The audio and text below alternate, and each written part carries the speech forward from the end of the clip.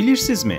Cisimlər, məsələn plastik, sintetik kauçuk, sulfat turşusu kimi maddələr, ən geniş yayılan antibiotik olan pensilin kimi dərmanlar qədimdə yaşayan və o dövrün kimya inqilabçıları olan müsəlmanların kimya sənayesindən qaynaqlanır. Əslində kimya sözü ərəbcə əlkimyadır. Qədim ingilis dilində isə alkemi. Bu gün biz kimyada ilk kəşflərin kimin etdiyini müzakirə edəcəyik. Həmin kəşflər nə idi və bu gün bizim müasir cəmiyyətimizə necə töhfə verir?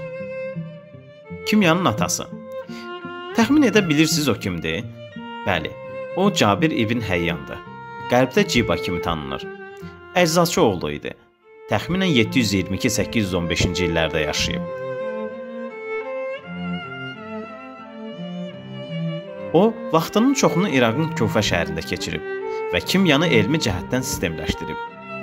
Distillə, mayeləşmə, kristallaşma, sublimasiya, amalqama hazırlanması və süzmə kimi çoxlu sayda kimyəvi prosesləri hazırladı və mükəmməlləşdirdi. Bu proseslərin əksəriyyəti bu gün də elə eyni metodla istifadə olunur.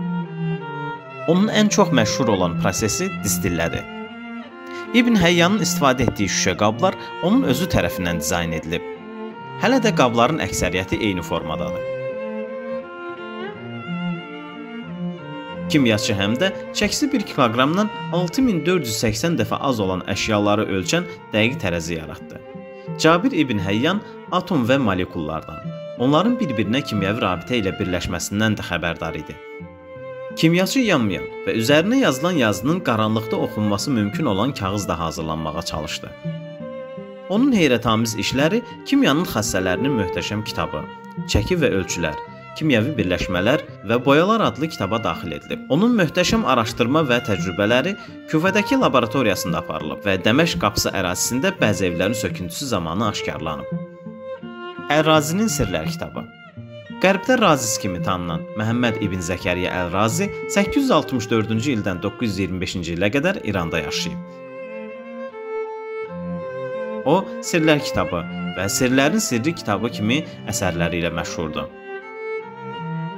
Ər-Razi təbii və sünni maddələri təsnif edən kimyaçı kimi məşhurdur hansı ki müasir dövrdə biz onları dövrü sistem cədvəlindən bilirik. Onun ən maraqlı elmi tədqiqatlarından biri su keçirməyən parçalar və saç boyaları hazırlamaq idi. Kimyaçı həmçinin 20-dən çox laboratoriya avadanlığı yaradıb və onlardan istifadə edib. Bu avadanlıqlardan çoxu hazırda da istifadə olunur. Məsələn, distillə prosesi üçün puta, distillə kolbası, retorta qabları, əlkindi.